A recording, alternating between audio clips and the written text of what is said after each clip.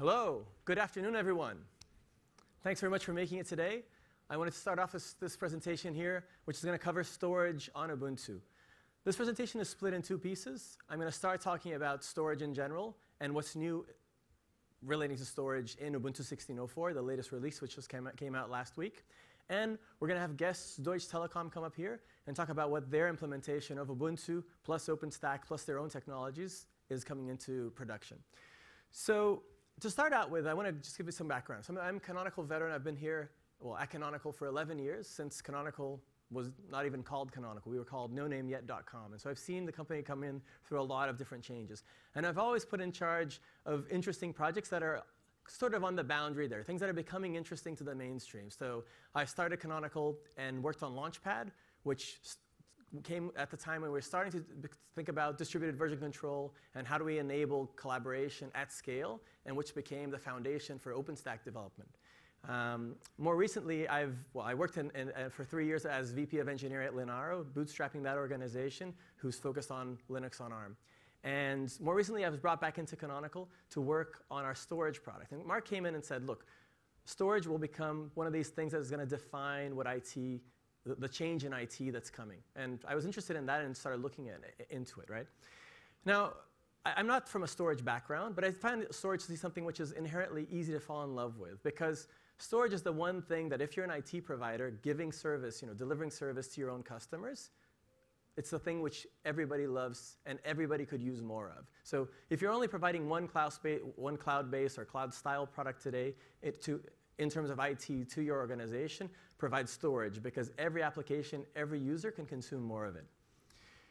So if you think about delivering storage, there's really only one important requirement, and that is price, right? Yes, people will say there needs to be, storage needs to be high performance. Sure, it needs to be high performance, but at what cost? So the important thing is getting the storage price right. But even that is not exactly true. So if you are delivering storage services in 2012, it's not just getting the price right, it's beating the AWS price. This is what's going to steal your own IT budget in the coming years because if you're slow at, prov at, providing storage or if you're providing it too expensively, then your customer is going to say, mm, instead of buying from my own IT department, I'm going to set up a credit card and start buying it off AWS. So that's really what the, what the challenge is today. If you're providing in-house storage as a product for your own organization, remember this. You're going to be benchmarked against AWS prices, whether you like it or not. It won't be an immediate transformation. People are not going to just drop your, your SANs and NASs and go wholesale to cloud storage, but there will be a, a, a trend in there, and it will be eroded over time. So let's look at beating AWS prices. This is a comparison between disk drive prices, which is really, really like the atomic unit that you need to have if you're providing storage at all, with what AWS rents that for.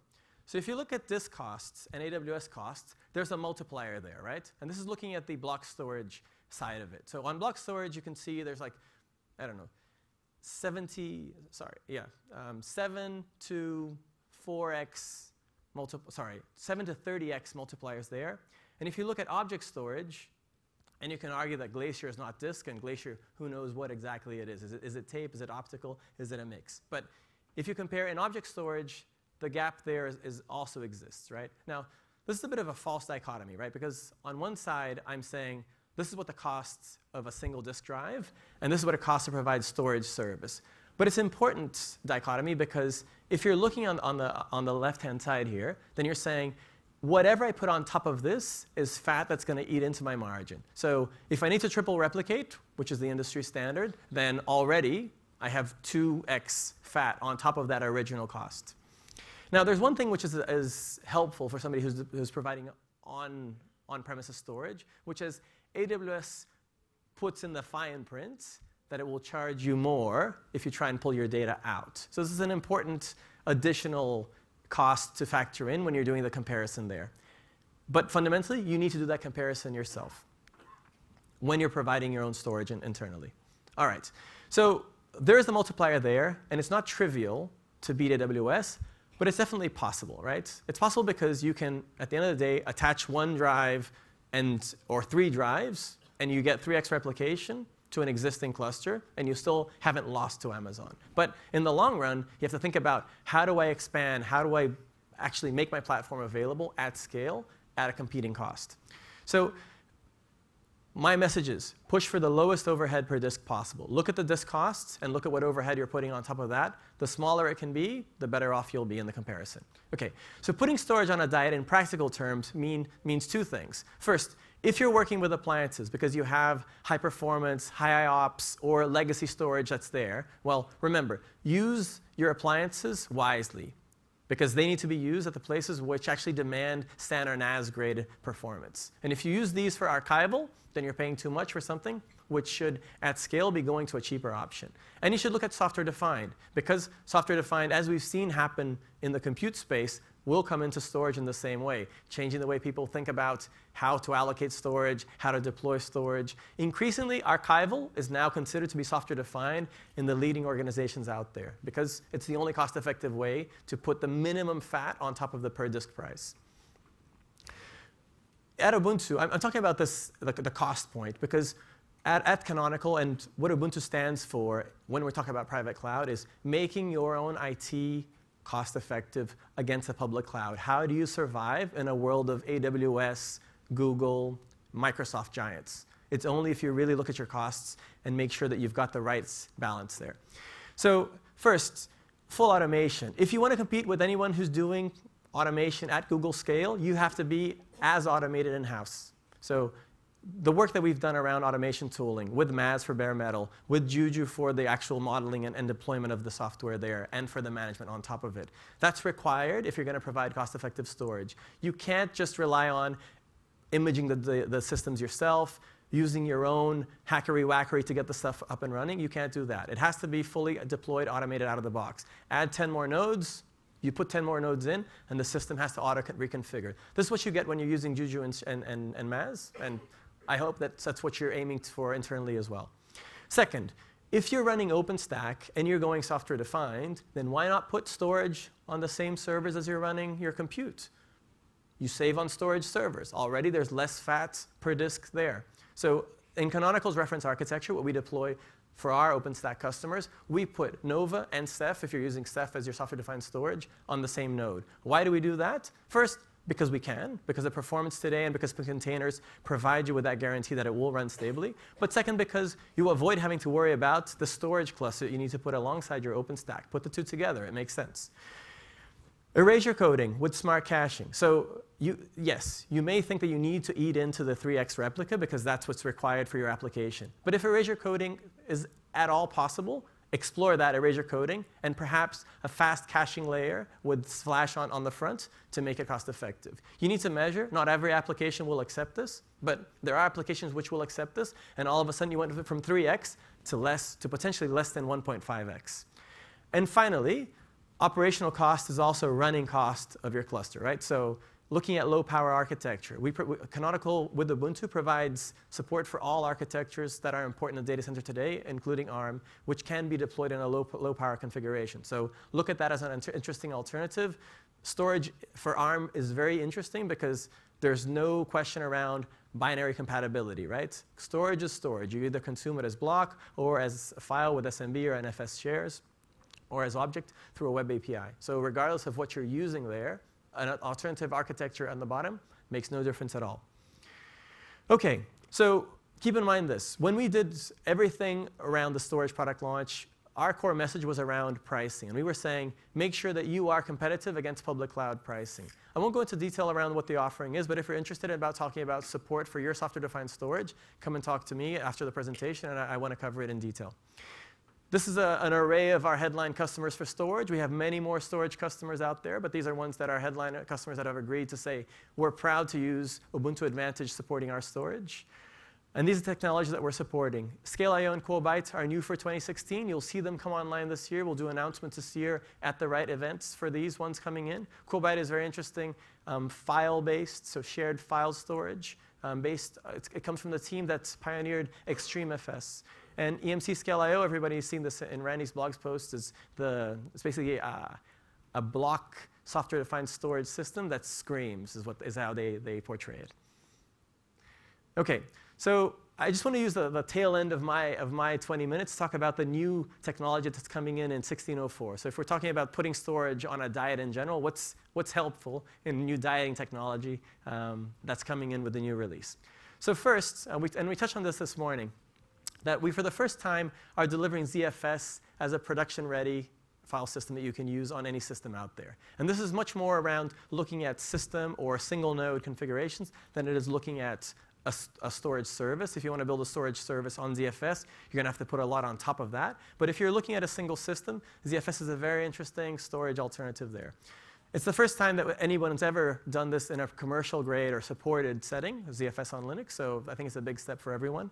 But it's bringing into being on Linux an incredibly solid and performant file system. It's something which has seen many years of production use and as much as people are concerned around the controversy around whether ZFS on Linux is allowed at all or not, I think there's enough standing in, uh, existing today to say that AFS has been allowed on Linux for a long time.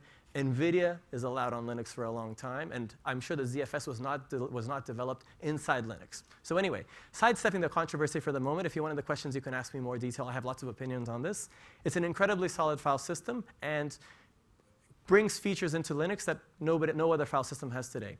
So the first thing, the first feature really with Ubuntu and ZFS is that on Ubuntu 16.04, ZFS just works. You don't have to do any magic voodoo install compiler DKMS craziness. The module is there. Just modprobe ZFS, and you'll see that it's loaded, and the tools will transparently load it in the background if you're using ZFS anyway. ZFS, for those that are less familiar with it, has a couple of interesting features. The headline one, I think, is data integrity built in. Not only do you have block level checksumming, but because the blocks in ZFS, like in Btrfs, are laid out as a tree, you have checksumming on the tree level, which says every tree node has a checksums of all the children that are attached to that tree node, which means that you are safe even if data moves around on the disk. Um, it's, ZFS is interesting because it's got a volume manager built in. So you create basically a ZFS pool, and that pool is where you define addition, uh, new, basically, um, block devices that you're offering for consumption, but you can also define multiple backing devices. So you can use ZFS to substitute software RAID or even hardware RAID if you don't care about the hardware part of that. And you can use it like LVM to create additional block devices that you make available on top.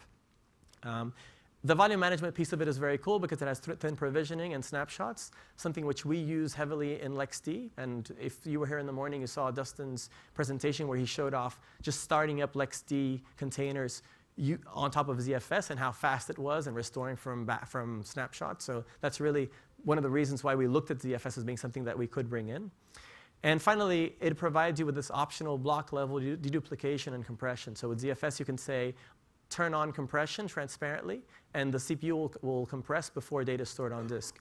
And you can turn on deduplication on the block level, which, which will make ZFS basically track blocks that are being written and to see whether or not there's a, that block is already stored somewhere.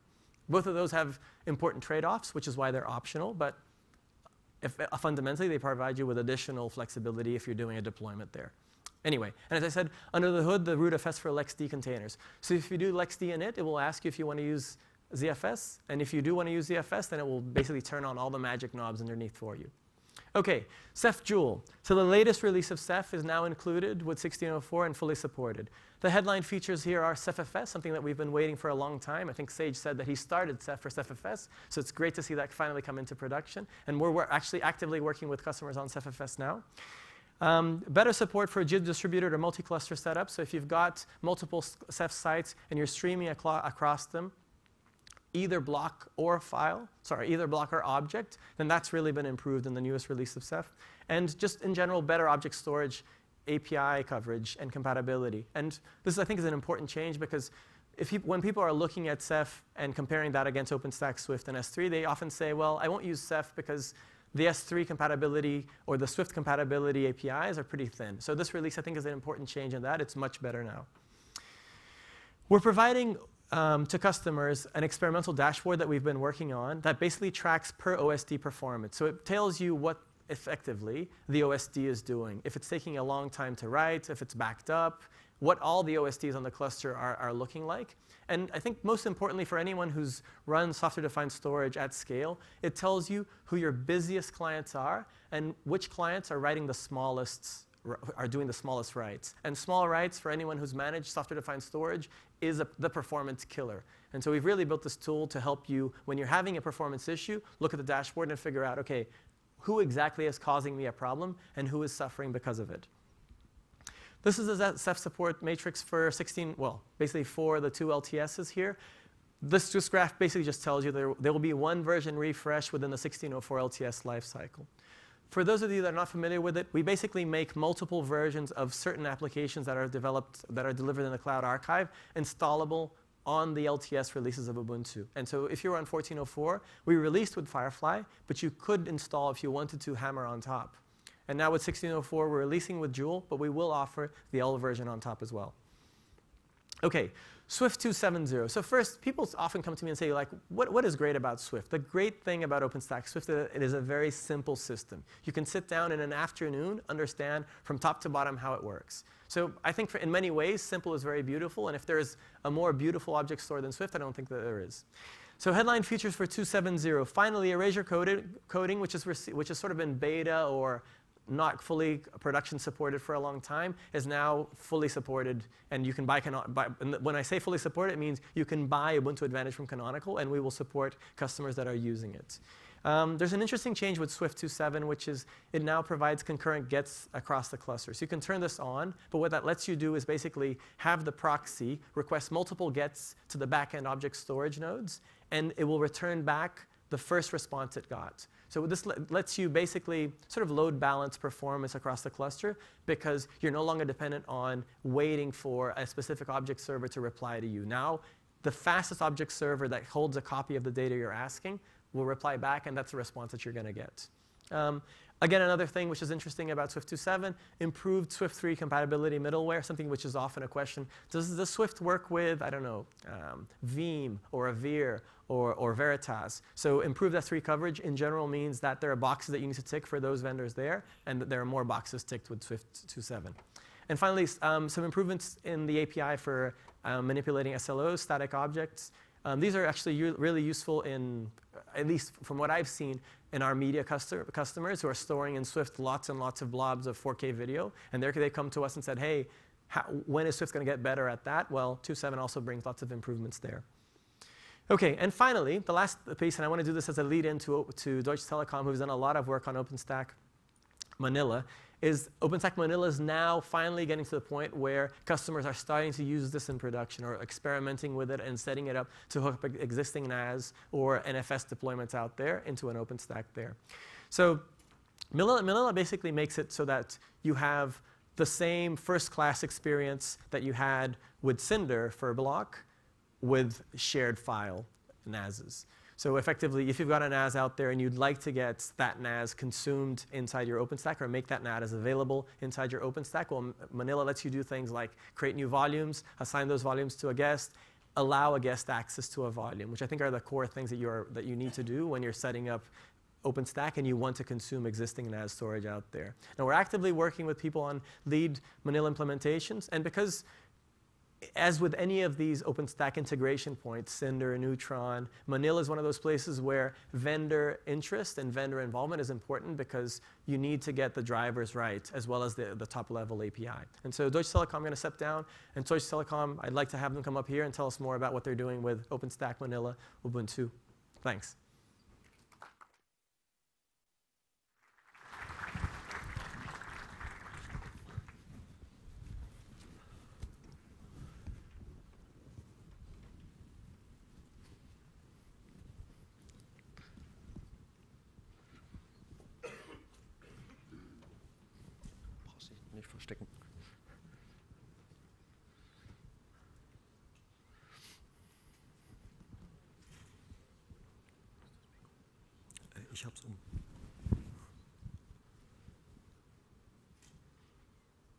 Great. Hi together. So my name is Marc Fiedler. I'm from the Deutsche Telekom, uh, from the German organization. Um, today we would like to give you an update about our activities in um, yeah, uh, our activities to bring uh, Manila in our environment and production. Um, so for anyone who was uh, also on in the Vancouver summit, so we had there a talk and called this phase one. Now we spend a lot of time to um, yeah, adopt our findings and, and new features to bring this in a new stage, and so that's the reason why we take here phase two. Um, today I would like to, or we would like to uh, talk a little about our, about our collaboration model. Um, then we look a little bit deeper in um, yeah, our shared file storage technologies, what we have done, what, what, uh, what was our results of that. Uh, we would like to talk a little bit about our uh, environment. I think we changed this massively to the phase one. And later on, we give an overview about uh, what is working, what is new, and what is our future work. So that is yeah, the purpose of my or of our um, agenda for today. Um, yeah, at first I would like to give you a short overview about uh, Deutsche Telekom profile. Um, I think uh, probably a lot of people doesn't really know about Deutsche Telekom, so that's the reason for that. Um, yeah, we have uh, worldwide one, around 150 million mobile customers. I think that's impressive dates, and also in the fixed network uh, around 30 million customers. Um, and uh, also in the broadband customers in uh, 80 million. The reason for that is why I mentioned this is that we have an, in all three sectors of fixed mobile and online services, we would like to push massively our NFV targets and our NFV technologies. And that's the reason why we uh, yeah, developed in, in, in Germany uh, the global uh, architecture for our NFV purpose. Um, and yeah, also how we can integrate our shared file storage in this technology. Um, yeah. Um, to look a little bit deeper about Germany and our purpose there, I think we are from Germany, and that's the reason why I mentioned this here, uh, is to see where we are and also uh, how many million customers we have there. Um, we are the biggest VDSL provider in Germany uh, and also have um, impressive uh, data of 2.7 million IPTV customers, uh, we nearly um, launched a new uh, platform in Germany, the IPTV platform.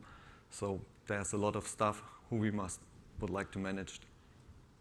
So, okay, now we come to the Manila, and that's why we are here. Um, our requirements um, are nearly the same as in phase one. Um, we have a strong demand of NFV and cloud technologies um, to optimize our telco processes. I think that is one of the main reasons um, why we push these activities here in this group and have um, organized a, um, a, big collaboration with different companies and need a maximum of degree of autom to automate our infrastructure. I think that is to come to optimize our processes. I think that's the common need of that. Um, yeah, and what is new, what, what, what we have changed in phase two uh, is nearly that we adopted our results from the phase one um, we take the lessons learned phase and um, looked how we, what we must change in phase two to come, become more results and become more findings about what, what can be achieved when we um, going to a um, multi-storage backend. Um, that means when we joined um, additional vendors and also put them in a, physical environment. In the first phase, we had only a virtual environment. yeah, that is mainly that. And now we are um, joined Canonical and also HDS in our uh, group. Um, that's the new vendors, the difference to phase one. Um, yeah, and looking also, focusing mainly on the high availability. That means we had built up in an um, OpenStack um, environment physically on HA and also put them the Manillas on HA. Yeah, the partnering model, I think, um, as you can see there, for us SDT is really important to, to collaborate with our partners to bring our needs to, to the community and just spread them over in the telco business. So I think that's the need, and that's really nice that we have these five companies here, and I would like shortly introduce the colleagues here on the stage. Um, to my right hand is Matthias Walczyk from HDS. Uh, then we have Kapila Roa from NetApp. Christian Pfeil from uh, the German SVA system integrator, and Thomas Neuburger, also from Deutsche Telekom. So now I would like to hand over to Christian. Yeah, thank you, Marc. Um, let us just quickly talk about the reason why we are following up with uh, Manila. So uh, therefore, I would quickly like to recall, um, yeah, the, the, features and, and the key concepts. So within the possible implementation flavors of cloud storage, there's basically, uh, yeah, block storage, shared file services, and also object storage. Um, yeah, therefore, Cinder, for example, provides block storage that you can attach to one instance and that can format a file system on it and do whatever it wants to. Um, there you also have Swift, which is the scalable object storage. Um, the, the problem with that is not every application is capable today to use that, and there comes the shared file services in place. And uh, yeah, that is the fact while we deal with Manila actually. Uh, regarding the key concepts, um, yeah, we have obviously the shares, which is, uh, yeah, for example, NFS or CIFS. Um, since we talk about a shared environment, we have the access rules, which uh, we can use to allow access for different IPs that at the end can be tenants. And um, yeah, to tie the consumers and the actual share provider together, we have the so-called share network in Manila, which, which enables that. And um, yeah, if you want to deploy more advanced security services, you could also do that, like if you want to create a Kerberized infrastructure or use Active Directory services. And uh, yeah, you could also use advanced backend functionality like, like snapshots uh, or thin provisioning. And uh, if we look about how that is implemented, that is always about a so-called driver. And the driver then um, makes use of the features that the backend uh, can provide. Um, one key thing to know is that Manila is not in the actual data path, so it's it, it acts just as a yeah, let's say a controller for the actual shared file service. Yeah, and with that, I would just like to hand over to um, um, Thomas, since he just uh, shows about the evaluation lab. Yeah, hi. Um, for uh, the evaluation, um, we uh, started uh, to set up um, a uh, test lab. Uh, for our test lab, um, the, the goal was um, to set up um, the whole OpenStack um, not only on virtual um, test environments.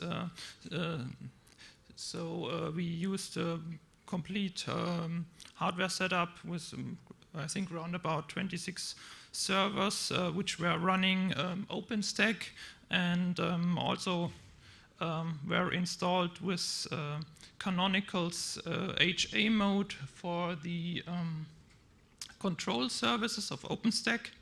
Um, also, um, we had uh, two storage uh, boxes, one from uh, NetApp and one from HDS.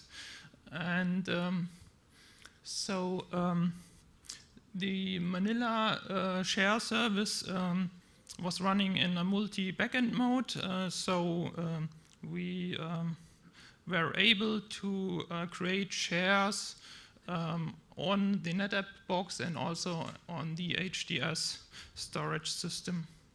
Uh, therefore, um, we used different drivers in uh, Manila which were uh, capable uh, to manage these storage systems. Um, as you see on the upper left side, um, there's um, there were three LXD containers um, which were hosting the uh, Manila API and uh, also Manila um, scheduler and Manila share service. And um, the uh, uh, IP address for the Manila API um, is uh, in a cluster mode uh, established by Pacemaker. So uh, when there is a breakdown of one LXD container, um, yeah, the API switch overs to another container and the API will still be available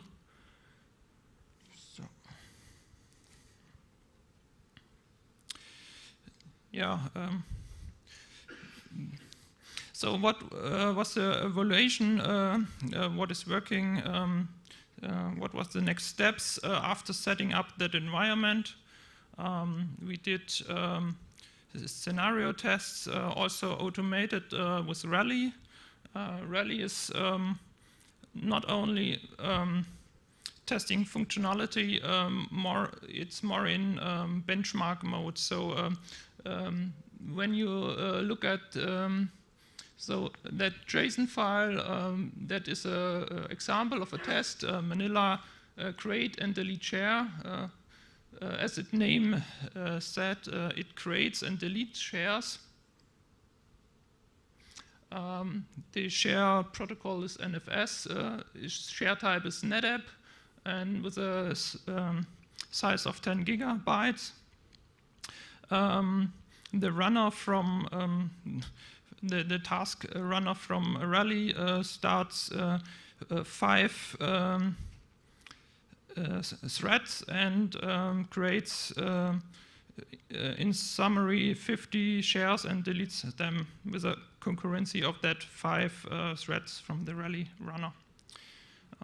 Um, that enabled us to uh, not only test functionality, uh, so also to test uh, how uh, good is the API responding and um, also to see um, if we have a breakdown, um, is the HA setup um, working and do we see any slower API calls uh, while the um, cluster is yeah, uh, uh, where, while the cluster fail over.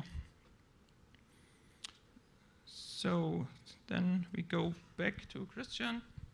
Yeah, thank you. So maybe we could just um, explain that with a short demo or some, some high-level graphs. So um, just to, whoa, uh, do you want to wake? So just to, to have a look, um, on this slide, you can see um, we have our Manila engine, and um, below that, we have our different backends, which are, uh, yeah, we make use of the drivers. And what we do now with Rally is um, we uh, measure the time that it takes to create shares in parallel. So we are just hammering the Manila API and therefore the backend storage uh, in creating shares. And uh, the same goes with um, deleting. This is one simple example. And uh, yeah, let's just have a look at the short um, demo video. Hopefully that, that works and everyone can see it. So on the upper left, um, we have the actual rally test run. And on the lower left, um, we just have a watch that shows the, the output of Manila list every two seconds. And on the right, we uh, display the volumes that are available on the NetApp storage system.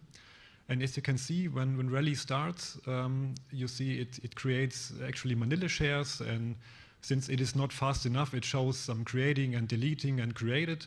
And on the right side, we can also see uh, the volumes that are created on, on the NetApp box, for example. And um, at the end, uh, then Rally is able to tell us how long the actual tests uh, did take. So for example, how long did the longest share create or the fastest need?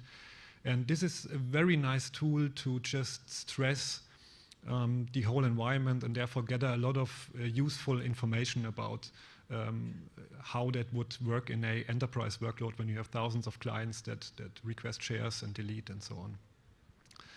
So to continue with the analysis, um, uh, we had that in phase one, uh, what is working and what can be improved. So um, it is very nice that we have now the, the multi-backend uh, in place. We have tested it with physics, and uh, that is very nice. We also have our scenario tests with Rally uh, that can leverage different storage backends. Uh, and also we could do some performance testing um, according to the API. So it's never about storage performance, it's always about Manila scheduler and API performance.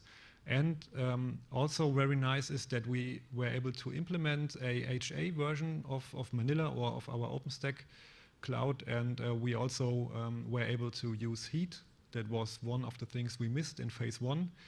Um, another thing that is very nice uh, that had improved over time is the vendor documentation. So for example, if you look at NetApp or HDS, they have nice information in place that documents the driver and um, its functions.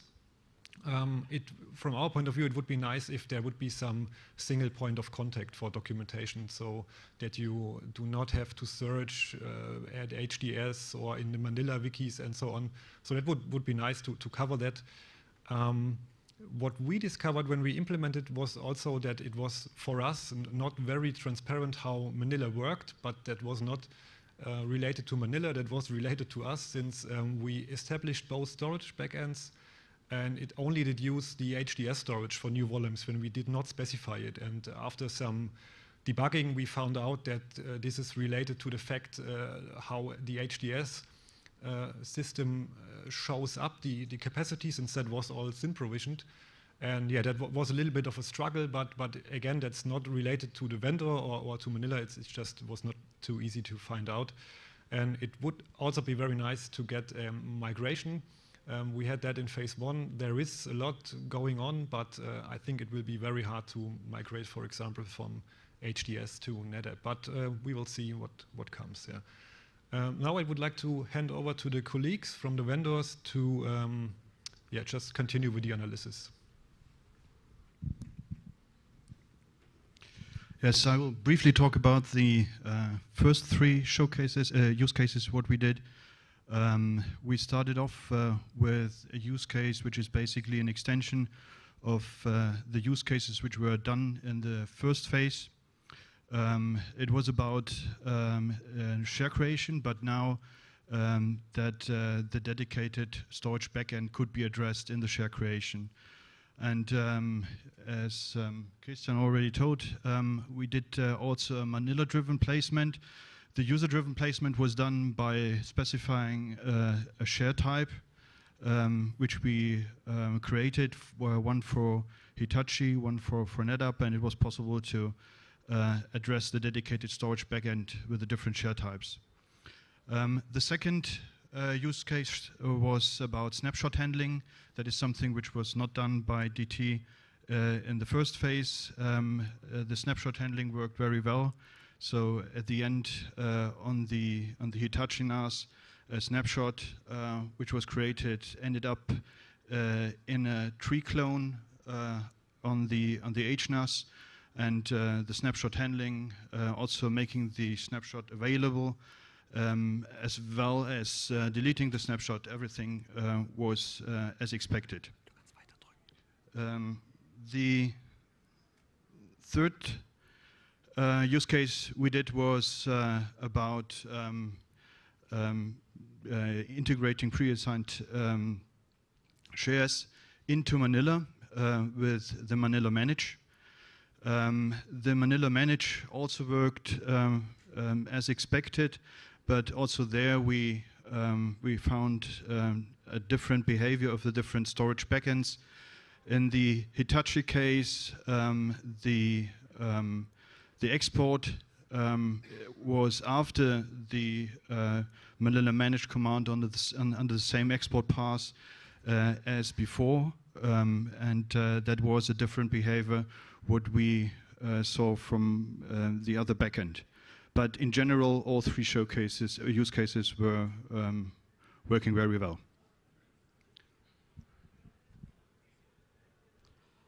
The, fo the, fourth use case that we tested was to consume these shares outside of the scope of OpenStack.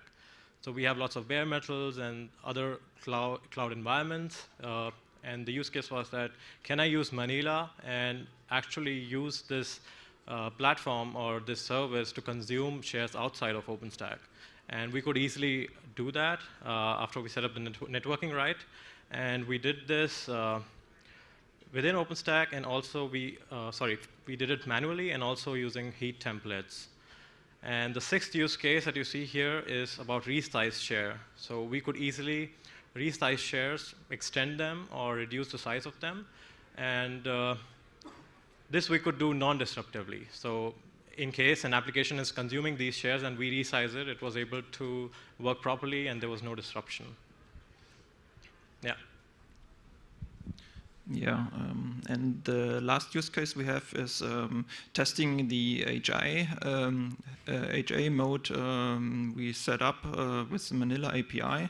Uh, th therefore, um, we started a Rally um, test script uh, which uh, massively creates and deletes shares in parallel.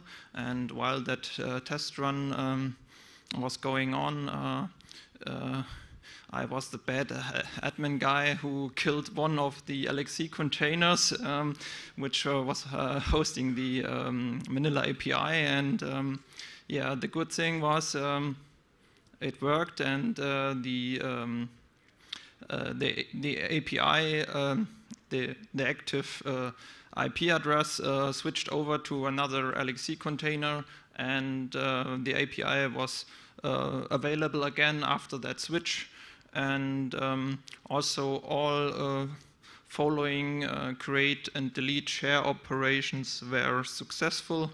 Um, while the failover, um, we saw that uh, uh yeah, a, a, small number of create requests failed. Uh, that's uh, just because of um, they were still in work on the failed server. Um, but from um, admin perspective, it uh, was okay because uh, um, um, we have a clear state of um, all shares. Uh, the the same state. Also after the test, uh, we had the same state uh, of shares in Manila and also on the storage backends. So we have no difference. There were no um, um, yeah uh, interruptions. Yeah. Yeah, so um, that was the good news. It uh, works really, really well. Okay. Um, only need this one, so um, I go forward. Um, so yeah, we're coming to the end, and that's time for the conclusion from our side. Yeah, our summary is um, against to, or we formalized this in phase one in, in another way, but in the second phase we say, okay, Manila becomes enterprise mature. That means we, we yeah, as you have seen, we have fulfilled all our use cases and our test cases. Um, yeah, the Manila uh, works, quite well, uh, works quite well in the HA deployment. I think that's really important for our productive environment to see how the OpenStack side and also Manila side is working together, and then with the uh, storage boxes behind. Um, and the community vendors addressed our requirements. I think that's uh, really important. Our further steps uh, would be yeah, to take more enhanced uh, performance tests, um, also to test how the environment works if the hardware is broken. Um, more or less on the OpenStack side, I think the test is not on the cluster side. On the storage backends, I think that's known from the last 10, 15 years by the storage vendors.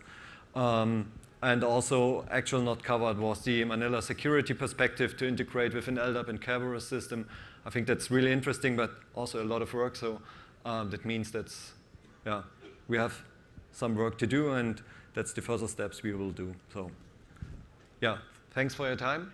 And if you have questions, in the end, we can yeah, talk about both, sec both sessions. Am I, am I back on? Okay, do we have some time for questions? Some five minutes? Yes? Okay, I'll say yes. All right, so any, any questions for, for the Deutsche Telekom team or for myself? Please go ahead. Wow, you, you may make this very easy on us.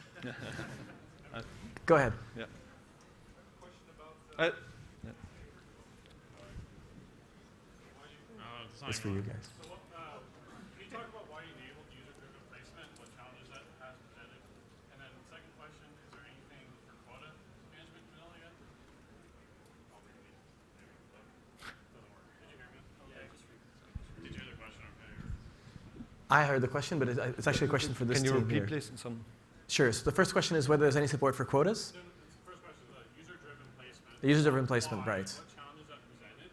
I, similar thing, but multi-backend, but not Miller related. Um, and why? So, you know, then quotas, you know, follow up those quotas. So, does support quotas and that place So- user-driven placement? Or? Yeah, the- I- our idea behind is that we have uh, gold, silver, bronze models in the storage backends. That means we have cheap storage, we have um, um, yeah, storage with a lot of um, services behind. And I think that's a different model where we can uh, say, okay, you, um, this, uh, from the perspective of the customer, they would like to have the silver model, and then we um, modify the, the Manila-driven placement in the storage. So something they know going in, as, you know, they have to have some data before they go in and pick Yeah. something, make that Yeah. decision, right? So, And, and quotas? Sorry? And quota? Um, are there any quotas? um, actually, we didn't test it. Yeah. All right, there's a question in the back there before.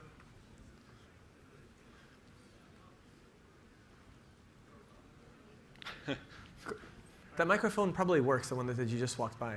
I hope, maybe. Okay, Hello. Okay. all right.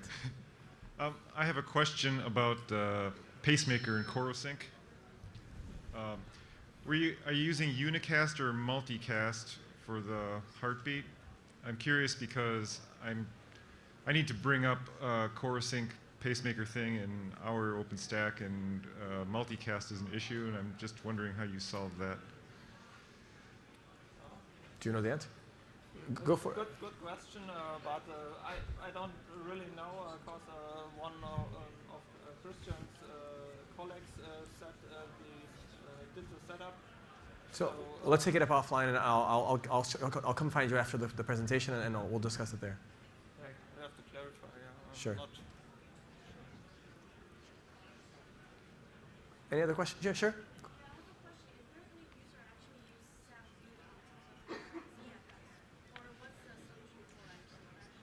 Ah, okay, so the question is, is there any use for, is Ceph being used on top of ZFS? Is that it?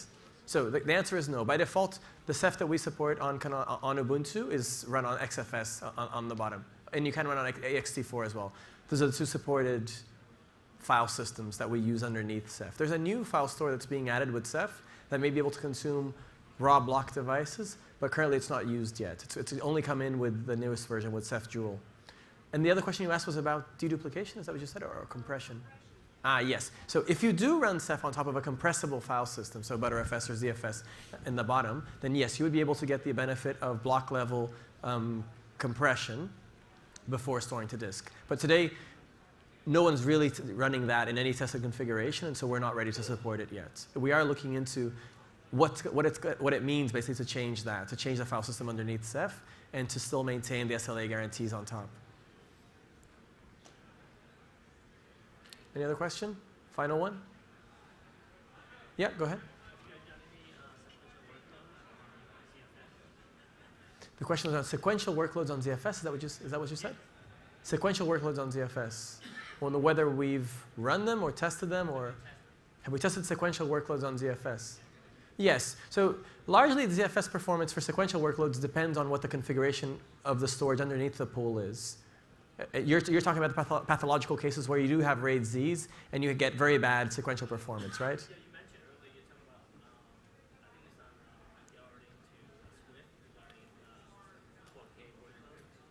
Yeah. No. So keep, just keep in mind, ZFS will be very new. So for instance, Swift and Ceph, as we're delivering it today, are not delivered on top of ZFS. So in our reference configurations, they'll be done on ext4 or XFS, which within Linux have seen much, much wider testing. We're bringing in ZFS, and if you think about it, any technology, as production grade as it may be outside of Linux, when you bring it into Linux, it will go through its own maturity curve. And so realistically, I expect that within the 1604 time life cycle, you'll see ZFS become more and more stable and more mature as the, the vast variety of users are encountering it for the first time. The first time most Linux users will see ZFS at all will be now. And so they'll start doing their own Z pools and figuring out what the performance is like, and we'll take that into account. But for people that are already experienced with ZFS on Linux and are looking for a partner, then Canonical's there for them. And for people that are experimenting, we're also really willing to encourage that because that's the only way ZFS will get better. Go ahead.